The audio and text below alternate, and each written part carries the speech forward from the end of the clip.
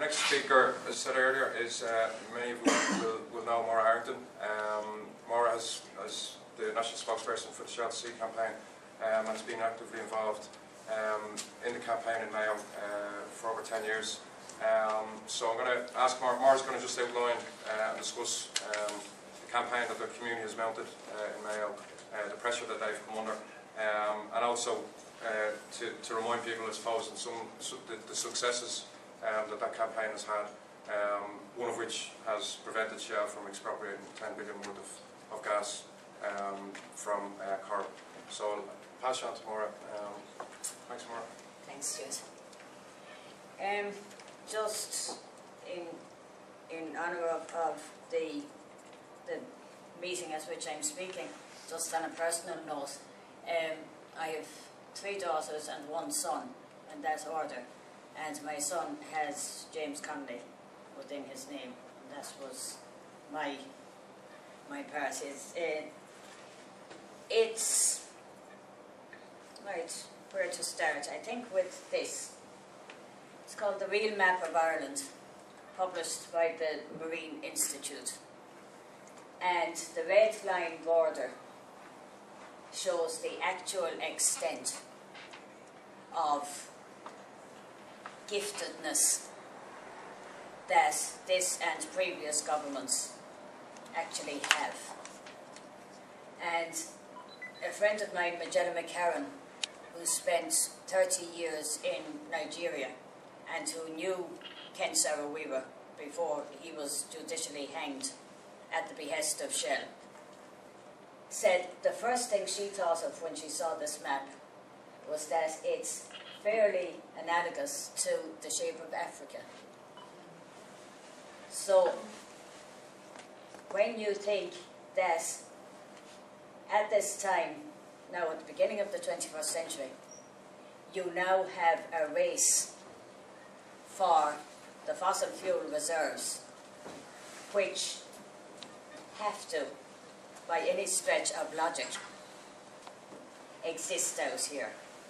I mean, the oil companies would have us. They try to have us, a small community, right here on the western periphery of, of the west of Europe, believe that in all this area there happens to be a little bit of gas down here and a little bitting of gas just here, a medium-sized field, 1 TCF. And really, that's all that's in us. And in all the planning process, in all the consent process that we willingly engaged in and engaged in in good faith from the year 2000 onwards, the line all through was that this was just one medium-sized field. The gas reception facility, which is what it was called, before it became a refinery, which it had to be properly called for an, an EPA license. That really, it was not much different to building a bungalow in a park. It was really kind of like Falcher gas. You know, you'll just come in here and the little drop of water that's there, you know, will be removed and anything removed from the gas reception facility will be a better quality than what you had there beforehand, which was actually pristine quality. Mm-hmm. So it started from, from that point, and we started from the point of knowing absolutely nothing about the whole gas and oil industry. Why would we, unless we, we were we had chosen to study the, the field. As I said, we live here in a greenfield area, a barony that's a natural resource in its own right at a time where places are increasingly commodified and corrupted. We have clean air, clean water, clean soil, sight of the night sky and the sound of silence. And it was that which galvanized me from the beginning. My prime tenet all along has been place, the defense of the place that is Erris. All of us as people hmm. come and go, the blink of an eye.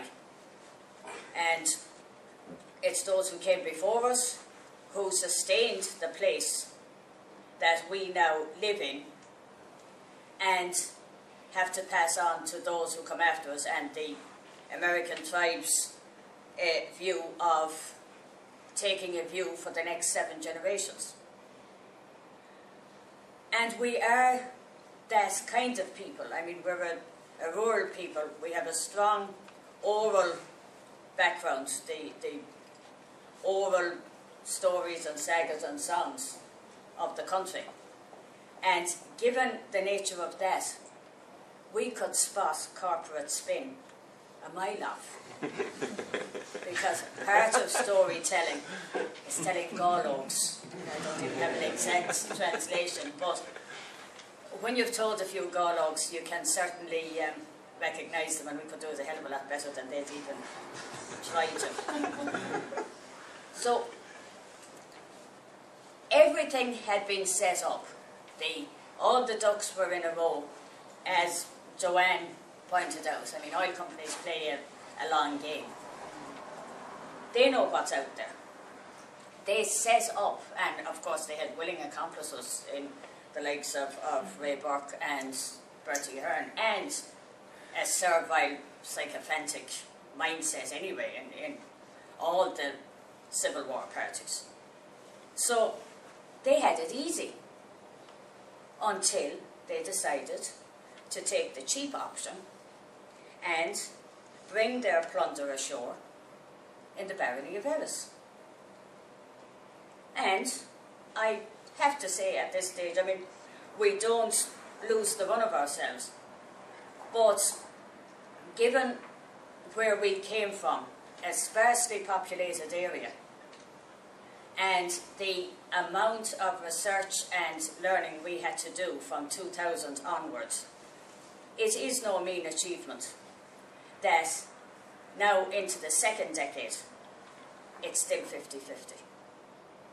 And it's, I would say, thanks to ourselves at the local level first, because all politics is local, and then as awareness gradually got out, thanks to national and international supporters. And it, the Shell to Sea campaign has those two elements. It began, as I said, at the local level. For myself, it began with defence of place. But then, as we learned more about the giveaway terms, it's developed a firm national focus as well. So you have the local, which is environmental, health and safety concerns. And they remain and will always remain. And you have the national, which is the, I mean, scandalous doesn't even begin to describe the terms that the oil companies enjoy. So we have, we have fought for the past 10 years. At times we've fought among ourselves, but then that's one of the definitions of community in, in my own book. Those who fight together stay together. And while there have been differences in emphasis and emphases along the way, the bottom line remains the same. The proposed Corrib gas project is the wrong project in the wrong place. And Stu said, you know, along the way, all right, we, we had our appeal to Bord Pleanála upheld in 2003 you know, and the, the inspector then, Kevin Moore, said it was the wrong project in the wrong place. It defied any logical definition of sustainability. But, of course, the oil companies came back. They had Éamon Ó Cuív and Frank Fahey from Fianna Fáil, the neighbouring county in Fianna Fáil, called what we describe as a Nuremberg rally, where they brought every Fianna Fáiler in the place into um, sports hall in Belmullet and uh, described it like not unlike the call of the Irish to Patrick, which he heard in a dream, come back. um, same thing. and called on Shell, you know, not to go away, you know. And local people didn't actually realise the significance of that at the time. So I did myself. Because how Shell used that was in the wider sense of things. At their AGMs, they would inform concerned shareholders, well, the people asked us to stay and to come back. So then they had all their um, all their planning ducks in place next time round. Uh, John O'Connor, who has to qualify, or he's certainly well up there so far this year for the Hypocrite of the Year award. Because I heard him yesterday, he's retiring as chairperson of um, Pleanála. He's been there for the entire um, length of the, the Corrib thing. He's retiring after 11 years. And he expressed regret that um, Bord Pleanála hadn't really called the, the planning mania to, um, to halt. He didn't express regret for facilitating Shell in granting them permission for what is a planning excrescence. At the moment, it, that decision is before the High Court for a judicial review. Um, it's interesting that An Taisce, the heritage body, who are, they have taken a review along with two local people who live in Rossport. But An Taisce cites as one of the reasons for doing so that if the thing were to go ahead, then it has broken so many EU directives and what everyone thinks of the EU and the rest of it, while it is at the moment the statutory, whatever you want to call it, they set the rules, they set the directives, and they fine the citizenry of the country for breaking them. And once they start implementing daily fines against the country, again, it's the hospitals, the schools, the social welfare people who will pay the price. Not Shell, not Ray Burke, not Bertie Ahern, or any of the others. So I won't keep talking. I would just point out a couple of things. The Irish Offshore Operators Association, which is the um, lobby group for the oil companies, um,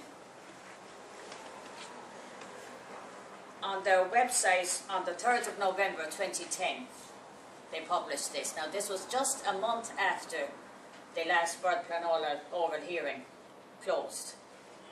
And at that hearing, Shell and their apologists had stated categorically that the interconnectors between Ireland and Scotland couldn't be used to export gas because they weren't engineered for it. Now, I would imagine anything that's engineered one way can be engineered the other way, but that's neither here nor there. But they stated categorically it couldn't be done.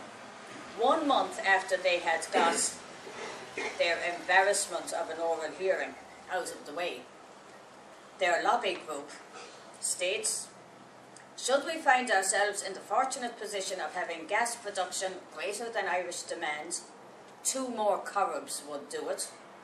The pipelines already exist to export to the UK and beyond. And there it is from the horse's mouth. Finally, I'd just like to try to get across to you the importance, I'm sure I'm speaking to the converted in a lot of cases, but to re-emphasise the importance of what's going on in North Mayo. And to that, there's a, a good article by Laurence Cox, who um, lectures in Maynooth. It's in the Irish Left Review and is up on the um, Sea website. But what we are doing, and what we have done for the past 10 years, is to hold the line